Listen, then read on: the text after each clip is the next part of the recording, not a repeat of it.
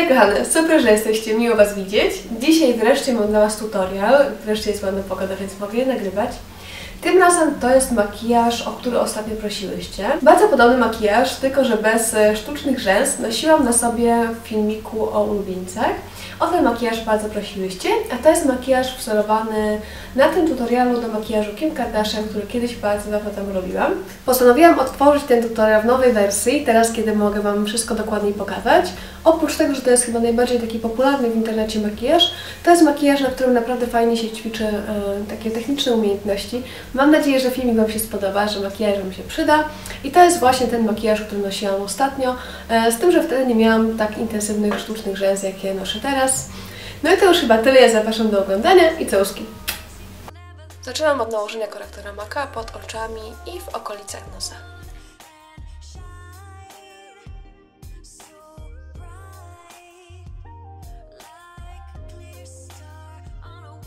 Następnie nakładam bazę do powiek, a potem sięgam po nasz bazowy cień i to jest akurat pigment z maka w kolorze wanilię. Nakładam ją na całą przestrzeń powieki ruchomej wilgotnym pędzelkiem, bo w ten sposób nakładana wygląda jednak lepiej, po czym delikatnie rozcieram ją lekko w górę. Teraz sięgam po mój ulubiony cień e, firmy L'Oreal, to jest numer 165 e, Chrome Shine Golden Rose i nakładam go na wanilię e, w zewnętrznym i wewnętrznym kąciku delikatnie rozcierając i mieszając z poprzednim cieniem.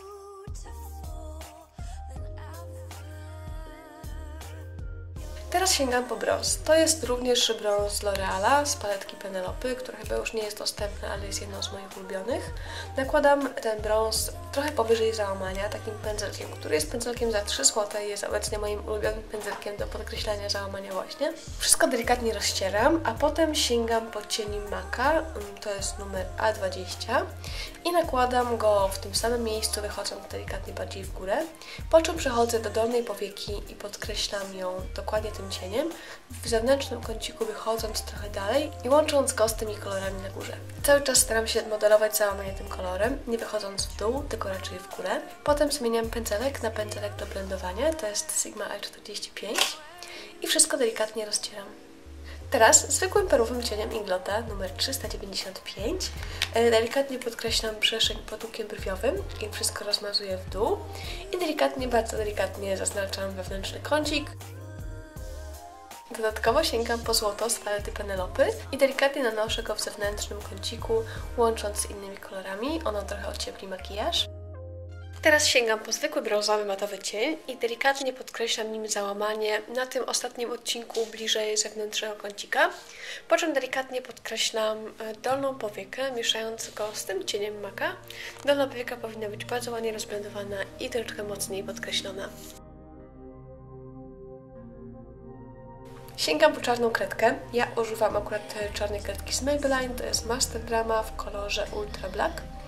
E, I zaznaczam nią linię wodną, najpierw dolną, potem górną. Delikatnie rozcieram ją też na linii rzęs, e, a potem delikatnie rozcieram pędzelkiem. Jeśli coś wyszło nam za czarne, możemy zawsze poprawić to brązowym cieniem z maka, tak jak ja to teraz robię żeby cały efekt był delikatniejszy i bardziej subtelny. Następnie namalujemy kreskę na górnej powiece. Ja użyję żelowego eyelinera z Lioeli i pędzelka Sigmy, to jest pędzelek numer E65. Nakładam eyeliner najpierw wzdłuż linii rzęs i potem teraz bardziej wyciągam go w górę i na zewnątrz.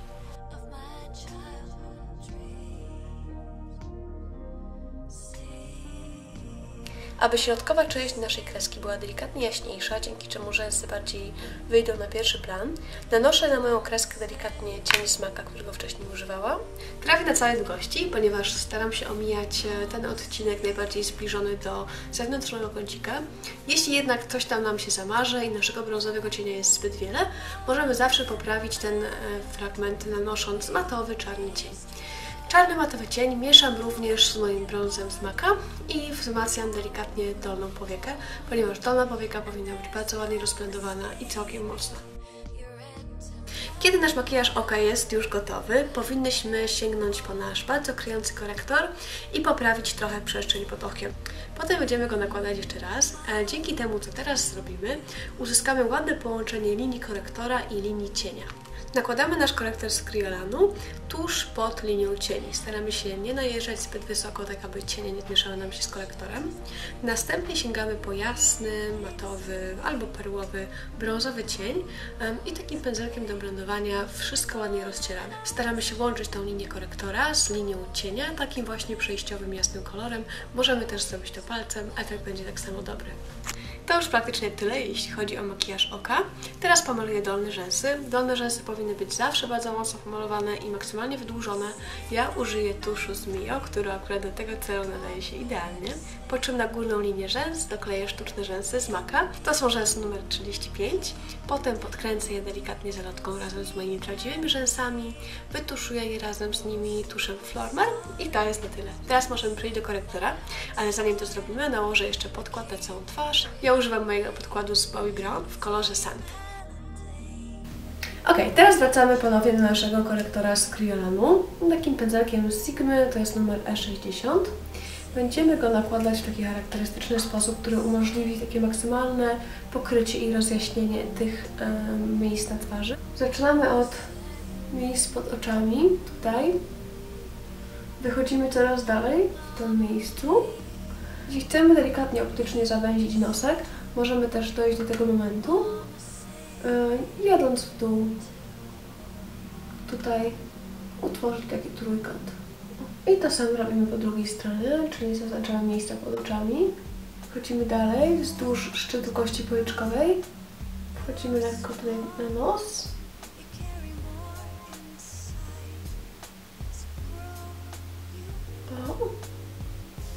I schodzimy do dołu. Tworząc taki trójkącik.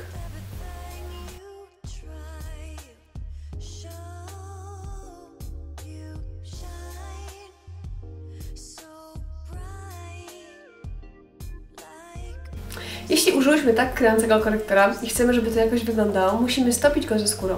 W tym celu powinniśmy użyć takiej zwykłej gąbeczki. Jeśli macie beauty blender, to może być beauty blender, ale tak naprawdę go nie potrzebujecie. Ja zwykle używam takiej zwykłej gąbeczki, którą możemy kupić w każdej drogerii, ona sprawdza się świetnie. Musimy tą naszą gąbeczkę zmoczyć. Ja używam tej mojej e, wody z kwiatu pomarańczy. Delikatnie odciskam w ten sposób, żeby ta woda um, równomiernie ją pokryła. I teraz tą gąbeczkę zginamy na pół mniej więcej w taki sposób, który nam umożliwi dotarcie tutaj do tych przestrzeni pod oczami. E, I delikatnie miejsce przy miejscu zaczynamy wklepywać ten nasz korektor w taki sposób. W tym momencie on się niesamowicie pięknie wtapia w naszą skórę i to wygląda naprawdę bardzo naturalnie, zachowując to bardzo mocne krycie.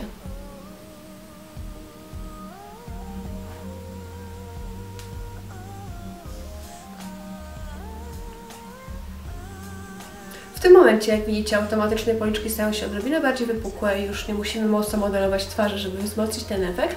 Ja pokryję jeszcze um, korektorem szczyt nosa. Yy, I tutaj to miejsce nad ustami oraz po bokach ust. Okej. Okay. Teraz musimy utrwalić nasz korektor. Żeby nasz korektor nie wędrował po całej buzi, potrzebujemy takiego um, puszka do nakładania pudru i jakiegoś zwykłego, transparentnego pudru. Nakładamy ten puder na puszek i teraz, co jest bardzo ważne, to to, że musimy ten puszek z tego pudru wytrzeć, aby nie było go za dużo. Czasem jeśli nakładamy puder, nie wiem, z pędzla, prosto z pędzla na buzię, czy prosto z takiego puszka, tego pudru jest na tyle dużo, że to naprawdę wygląda nieciekawie i od razu go widzimy. Dlatego cały niechciany puder musimy z tego puszka zetrzeć i dopiero wtedy możemy delikatnie zacząć przykładać go w tych miejscach pod oczami. Ale bardzo delikatnie i dosłownie parę razy. Już. Teraz użyję mojego rozświetlacza z Kiko. To jest e, taki bardziej złotawy rozświetlacz. I musnę nim tutaj szczyty kości policzkowych. I w ten sposób delikatnie brodę i rozetrę go delikatnie pędzelkiem. Ja używam takiego pędzelka ze sklepu plastycznego. On jest naprawdę delikatny i nim można naprawdę ładnie rozetrzeć e, ten rozświetlacz, nie zbierając go ze skóry. I teraz przechodzimy do bronzera. Ja użyję tak mojego pędzelka z Maka, któremu urwała się rączka i bronzera Hula z Benefitu. To jest taki jeden z najładniejszych matowych bronzerów. I zacznę nakładać go może od tego miejsca tutaj.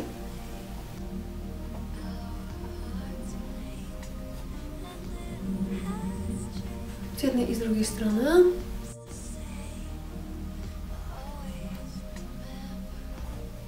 Zaznaczę też linię włosów.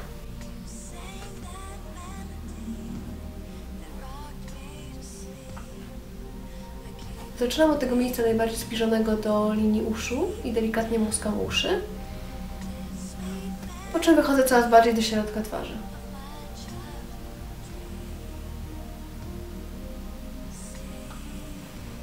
Drugiej strony robimy to samo.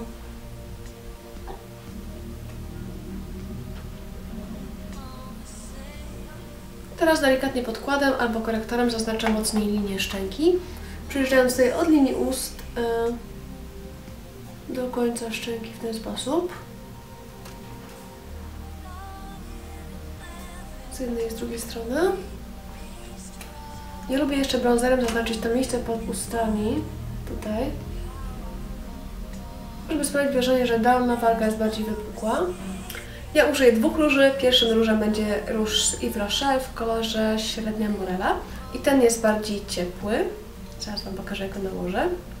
Nakładam go mniej więcej w tym miejscu. Wychodząc delikatnie dalej i w dół.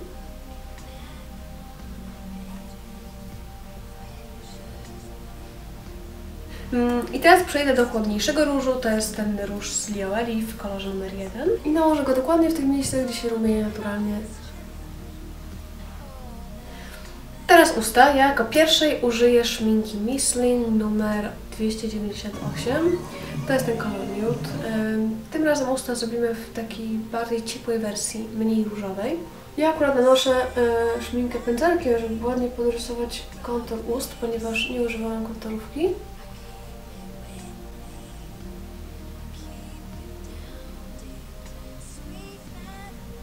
Jasnym perowym cieniem podkreślę jeszcze to miejsce tutaj. I teraz użyję dwóch błyszczyków. Pierwszym będzie błyszczyk z Essence, a drugim będzie NARS Turkish Delight. Tym błyszczykiem z Essence pokrywam całe usta. A Narsa nakładam tylko na środku, żeby optycznie powiększyć usta. Tutaj. I tutaj.